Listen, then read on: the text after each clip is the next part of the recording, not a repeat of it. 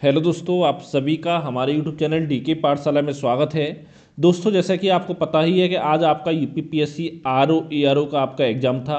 तो दोस्तों, कई छात्र ऐसे जिनके मेरा मैसेज कि, सर, हमारा पेपर अच्छा नहीं हुआ, हम क्या करें? तो देखिए दोस्तों, मैं आपसे कहना चाहता हूँ कि आप ज़्यादा निराश होने से कुछ फ़ायदा नहीं है। अब पछताते रहोगे तो उससे कुछ नहीं होगा। लेकिन तो मेन जो आपका टारगेट है दोस्तों, वो है आपका स्टडी करना।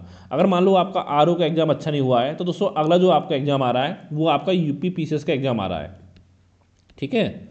अब देखिए देखिए दोस्तों, इसमें क्या देखिए जीएस तो आपने आरोग्य पढ़ा था, इसमें पढ़ना पड़ेगा वो जीएस आपको कुछ अलग नहीं है। लेकिन इसमें आपको केवल सी सेट है, वो आपको थोड़ा अलग से पढ़ना है। उसमें कुछ पार्ट आपका हिंदी का भी आता है, मैथ का, रीजनिंग का, जीएस का तो दोस्तों, ये सब थोड़ा आपको अलग से पढ़ना पड़ेगा, ठीक है, इस एग्ज़ाम के लिए। तो देखिए दोस्तों, पहले मैं बताना चाहता हूँ आपको, देखिए, जिन छात्रों ने हमारे आर ओ का करंट अफेयर जीएस और आपका हिंदी का अगर आपने नोट्स परचेज किए थे या आप हमारे आर ओ ए आर ओ के पेड ग्रुप में जुड़े हुए हो तो।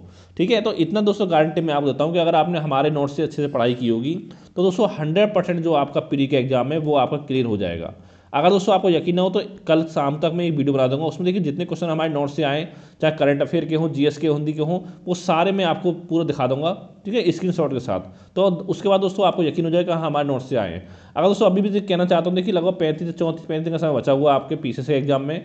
अगर आप पीसीएस एग्ज़ाम की तैयारी कर रहे हो और अगर आप पीसीएस के नोट्स लेना चाहते हो जी करंट अफेयर जीएस के कंप्लीट तो दोस्तों ये मेरा व्हाट्सअप नंबर है seven zero four two six five four two zero nine, ठीक है? इस नंबर दोस्तों, आप मुझे मैसेज करिए तो सारी जानकारी नोट्स के रिगार्डिंग आपको दे दी जाएगी। अगर नोट्स लेने के इच्छुक हो, तभी आप मुझे व्हाट्सएप पर मैसेज करें। ठीक है? इतना दोस्तों कैसा होता है प्री एग्ज़ाम बहुत ज़्यादा हेल्प आपकी करेंगे। नोट्स अगर आपका आर का एग्ज़ाम अच्छा नहीं हुआ है।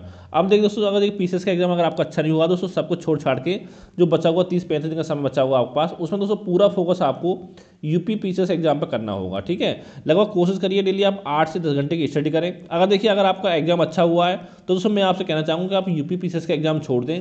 अगर आपका एग्ज़ाम वाकई में अच्छा हुआ तो कल से अपनी जो मेंस एग्ज़ाम आपको जुलाई होने वाला, पाँच, साढ़े पाँच महीने बाद तो अपने मेंस एग्ज़ाम की तैयारी करना आप स्टार्ट कर दें। जो दोस्तों, मुझे लगता है, देखिए, अगर आपके 120 के आसपास अगर मार्क्स आपको बन रहे हैं तो पूरा चांस है कि आपका जो प्रिय है, वो आपका क्लियर हो सकता है कि अगर आप जनरल कैटेगरी से बिलोंग करते हो तो पेपर का लेवल देखते हुए। क्योंकि दोस्तों, देखिए, जो आपका जीएस का पेपर था, वो आपका थोड़ा डिफ़िकल्ट डिफ़िकल्ट कह सकते हो, लेकिन जो आपकी हिंदी आई थी, वो पेपर आपका ईजी था। ठीक है, हिंदी में दोस्तों, अगर आपने थोड़ा बहुत पढ़ रखा है तो पचास बावन क्वेश्चन तो आपके आराम से सही हिंदी में हो जाएँगे।